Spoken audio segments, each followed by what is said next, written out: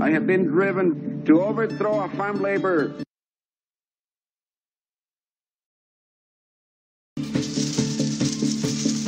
The history of farm labor in the United States is a history of exploitation. The plantation and the ghetto were created by those who had power both to confine those who had no power and to perpetuate their powerlessness. All my life, I have been driven to overthrow a farm labor system in this nation that treats farm workers as if they were not important human beings. These people have suffered tremendously and uh, grown much more slowly economically than any other segment of our society. The appalling conditions of farm workers moved my brother to crack down on the abuses. But too little has changed over the years.